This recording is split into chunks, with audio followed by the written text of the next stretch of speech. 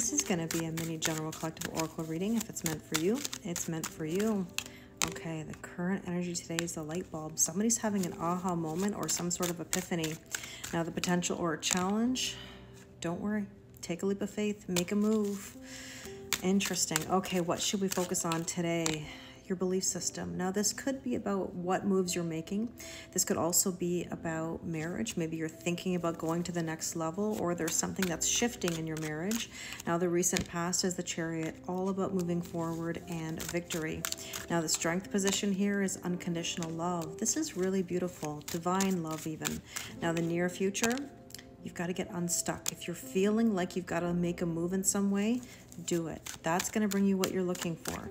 Now, the suggested approach is let the death and the rebirth unfold. Let the new energy come in.